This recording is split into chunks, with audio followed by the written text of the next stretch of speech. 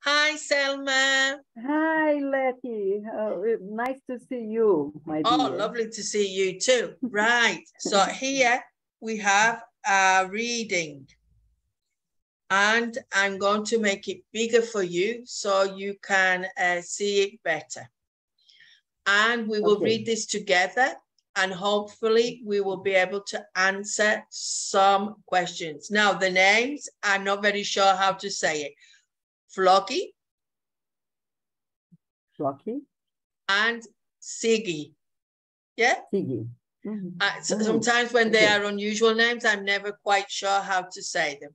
So if you would be okay. so kind as to start reading, and then I will do the second part. So off you go. Okay. Okay.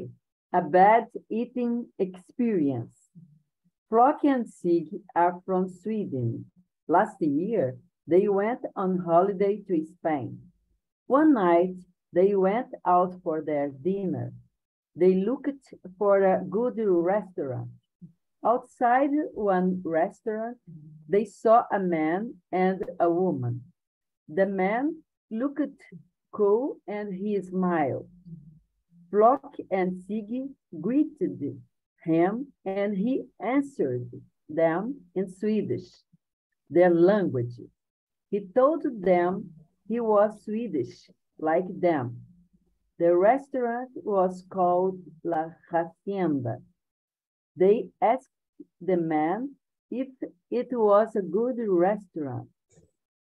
He recommended it and said it was excellent. He said it had the best food in Spain. Flocky and Siggy trusted the man because he was from their country and they, they went in. It's your turn. All right, my turn. Here we go. So I'm imagining what could have happened to them because it will be a bit like this, no? They uh -huh. sat at a nice table beside the window. They ordered paella. The waiter brought their dish. It was terrible.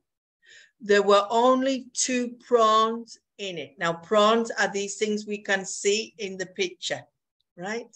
Okay. So there were only two prawns in it. The chicken was undercooked and the rice was sticky and horrible. The wine was like vinegar and the water was warm. At the end of the meal, the waiter gave the bill. It was very big, so very expensive, I imagine. When they left the mm -hmm. restaurant, the Swedish man was still there. Flocky and Siggy told him he was wrong about the restaurant. They said it was dreadful, really awful. They asked him, why did you recommend it? Because I'm the manager, he said. So, as usual, the reading has a funny twist, no? So, how many times have you asked someone about where to go to eat? And they have given uh, the wrong idea. So, here we go. Selma, we're going to try and answer the question after reading it. So, you have to say true or false. So, read sentence number one okay. and tell me what you think. If we don't know, we can always look again at the reading. So, off you go. Okay. Uh, Flocky and Siggy are Spanish. No, they are Swedish. So it's from false. Sweden. Sweden. Swedish. No, you said it right. Swedish. They are Swedish. Swedish. Right. They right, went they to England Swedish. on okay. holiday. False. They went to Spain. Spain. Okay. One night they went out to look for a good restaurant. True. It's true. A Swedish man was standing outside a restaurant called La Hacienda. True. True. The man told them that La Hacienda was a bad restaurant. False. The man he said how good it was, no? A good. Yeah. Froggy and job. Siggy believed what the man said. True. True. They sat, this, they sat beside the door. True. No? I can't remember. I think it's a window. But I'm not sure. Uh, uh, I, I think it, you are correct. I I'm not sure. Uh, they recommended the best Jerusalem because they sat in the night time beside the window. Ah, the window, Okay, okay. but okay. I sometimes don't remember everything as well. So door no window. Uh-huh. The manager It's- brought the food. No, the waiter brought the food. The waiter. The food was excellent. False. Dreadful, horrible. And the wine was like vinegar. True. True. Their bill was huge. Uh, uh, true. It's true. Yeah. Uh, when they left, the man was not there. No, he was there. He was still sat outside. And the last one, Exactly. The Swedish man was the restaurant manager. Uh, true. right. Okay. so to help you, Selma, I have written some questions that you can ask me. Mm -hmm. Okay. Letty, why do you live in Spain? Well, it's a long story, but cutting it short, I live here because I met uh, my husband. I came to Mm. Spain before meeting him for other reasons, but the reason why I live here now is because I met my husband and I came to live with him. Okay. Okay, my dear. And in your opinion, which is the best Spanish dish? Wow. I love Spanish food. Uh, and I learned to cook Mhm. some dishes. So I wouldn't know which is the best one. Uh, but I like something called the paella, which we saw there. Uh, It's Mm. very delicious. I If you like, I don't like rice that much, but I like the ingredients. And then there Mhm. are some uh, typical foods depending, like at Christmas, uh, Easter. Also, I like something called a Spanish omelette, which is uh, uh, fried Mm. potatoes uh, mixed with eggs, and it's like an omelette about this thick. Can you imagine? Not like Uh, this. It's and- about that thick. And uh, it's tortilla, the, the, the name, tortilla. Yeah, tortilla. Yes, Mm, tortilla with española. A, a- lot of onions uh, and a Well, lot you of can have onions. onions or not. It's a personal choice, no? So Oh, uh, if you say to me, Ah, okay, uh, okay. make me a Spanish omelette, I will say, do you like onions? If you don't like onions, I won't put them. So mm, it was one of the first things I Ah, learned how to make, a Spanish omelette. I make it the size of a plate, of a dinner plate. It's about that thick. And my English family love Mhm. it too. So when I used to go home, I used to make it for them. Spanish omelette, something very simple Mm. with potatoes and eggs, but it can be very delicious if you Mhm. make it correctly. delicious. Uh, delicious, delicious.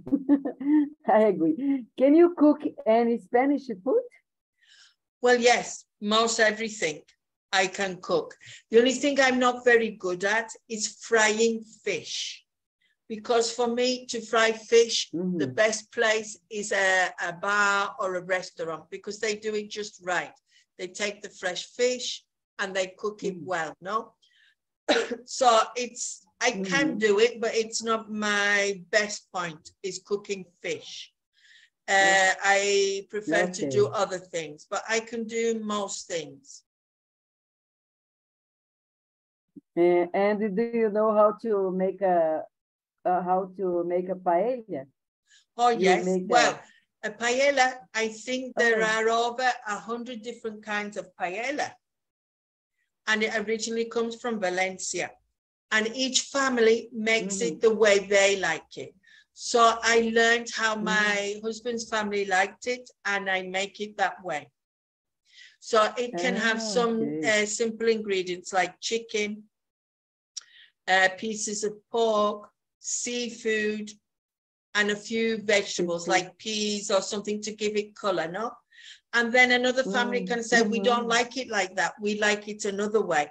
So there are ingredients, but the most important thing I just Mhm. remember is when it's cooked, everyone needs to sit down because you can overcook the Mhm. rice.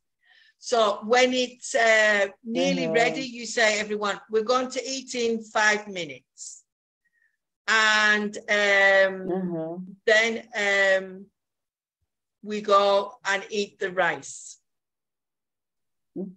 Okay. Okay. So uh, I don't cook now, uh, believe it or not, because I'm by myself. But before I used to Mhm. cook for 10 people. And Mhm. uh, I used to cook the Christmas food and the special food. But uh, Mhm. the paella, it depends on the way the family likes it. And so you can adapt it a Uh-huh. little bit. What's your Uh-huh. favorite food where you live? My I I I love I love fish, but it's it's not as easy to to find here a fresh fish, a fresh Ah, fish. All So, right. But I love to to make a a, a, a not a soup, but a, a fish with onions and the pepper and the tomatoes and Right. it's delicious and coconut milk. It's delicious. Oh, I've never done it Mhm. with coconut milk. I've never used that a lot. Uh, So here, as you know, Mhm. I'm only 10 minutes away from the sea. So we have fresh fish Mhm. every day. every day. So Ah, what the way I like it is uh, certain fish just fried. So they clean it, Mhm. they put like flour on it, and then put it Mhm. in uh, very hot oil for a short Uh-huh. amount of time, and it's golden Oh. brown. And I just love Mhm. it. There's something called boquerones, which are like fre- fresh anchovies. They're very small fish Mm. and Mhm, um, mhm. they just clean them, put them in flour and fry them for a short time. And it's just delicious. Something very simple and nothing um, too complicated. But we have a lot of fish on offer here. So uh, if you like Mhm. fish, uh, it's a good place to live. So I've learned Oh, ho- my God. I've learned how to love fish since I came here because in England, I'm like yourself, we didn't eat fish Mhm. at all. Ah, okay, okay. It was difficult, it was expensive, it wasn't Uh-huh. normal, for example. Mhm. No? Right then, Selma, Uh, we're here, oh yeah, continue. here, only one minute. Uh, here we we fry with corn flour. It's Yes. delicious, more than than white flour. Yes, here Corn they flour, have a, a special flour only for frying and for doing fish. Ah, And I okay, think uh, okay. that one you said, uh, corn flour, could even be better because it's lighter. It's like powder, Eh, not very Eh, fine. Exactly, Yeah, exactly. Mhm, but uh, exactly. I don't do it here for myself. So if I go Mm. out for a meal, uh, maybe that's what I have, just fried fish, because Ah, that's okay. something special. And also Uh-huh. I like something Delicious. called calamari, which is Mhm. squid. Mhm. Uh, I like that as well, squid. And so on a special occasion, I will ask for that one as well. Mm, So when I go out, I normally eat things that I wouldn't eat at home. Ah, So it's different, no? Mhm, Okay then. okay, Thank you, Selma, my- uh, for Thank you, doing the reading and then asking me the questions. Okay then, see you. Okay, thank you. See you, my dear. Bye-bye.